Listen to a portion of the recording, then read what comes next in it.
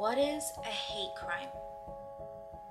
A hate crime is any criminal act or attempted criminal act directed against a person or persons based on the victim's actual or perceived race, nationality, religion, sexual orientation, disability, or gender.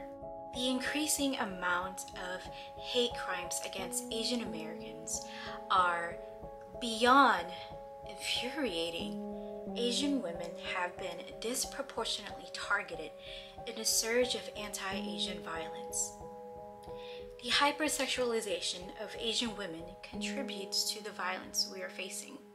It reinforces harmful stereotypes.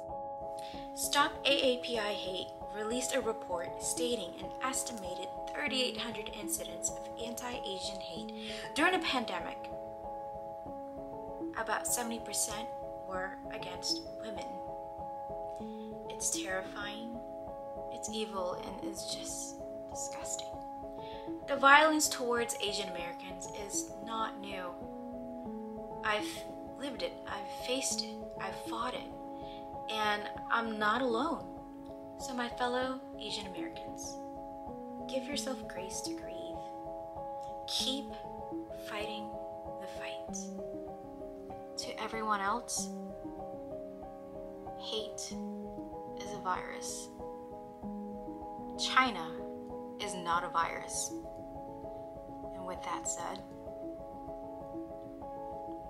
the shooter is still alive.